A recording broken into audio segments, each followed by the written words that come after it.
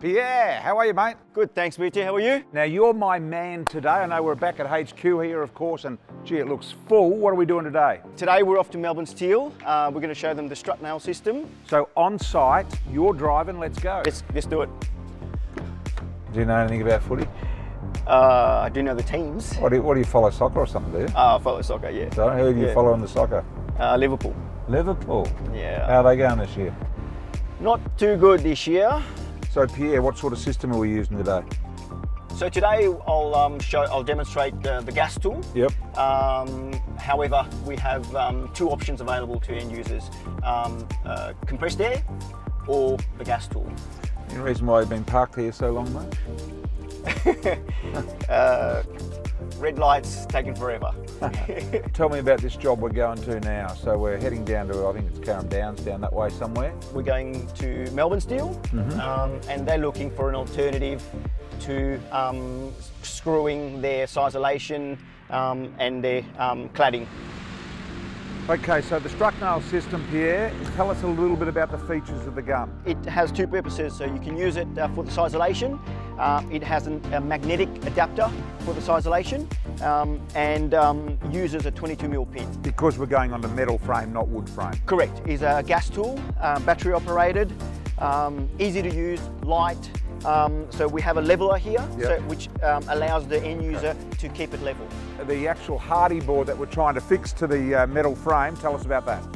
So the James Hardie board um, is uh, fixed directly fixed onto the batten, um, onto metal frame. So this is light gauge metal frames, um, 0.55 up to 2 mil. So that's going to go through there, no worries. It will go through there, no worries, uh, provided that the nail is 19 mil into the stud. Right, very, very sharp the nail, I notice. Super Sharpie, so hence the name Super Sharpie. Sharp point, small indentation into the steel. The nail finish will give you the holding power of a screw. Time for action, Pierre. Let's go, mate. Let's do it.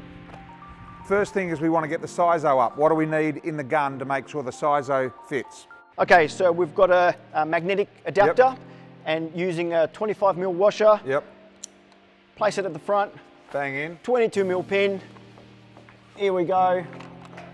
And one over here. Yep. Right, beautiful. Now this, in preference to double-sided tape, which would be the norm. Yes, uh, traditionally double-sided tape. Put it on one day, come back the next day and it's gone. Windy day, it's absolutely gone. All right, So, so- this is not coming off. Okay, let's get the uh, the board on. There it is. And we've got a 38 in and we're Yep. battery powered. Bang. Very nice. Get one in there for us in the middle. All right, so the other conventional way of doing it is to put one of these screws in. Show us how that works in comparison to the Structnail system. Much slower system. See, that's tough work. Putting your body behind it, getting it in, individually loading each screw.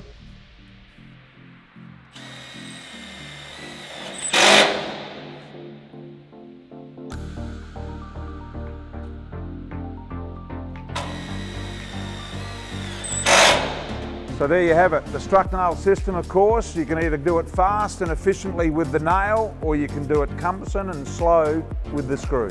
Yes, when you're doing a structure like this, the time factor and the labour cost that you'll be saving is immense. So if you need a fixing system for cladding or sisalation onto steel frames, then the Structnail system is the way to go. Fast, efficient, powerful and really good and of course to me it's an absolute game changer.